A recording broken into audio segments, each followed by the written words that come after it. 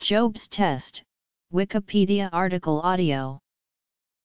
Jobe's test may refer to Empty-can test, a physical examination maneuver that tests the integrity of the supraspinatus muscle and tendon, Jobe's relocation test, a physical examination maneuver used in tandem with the apprehension test to detect anterior shoulder instability.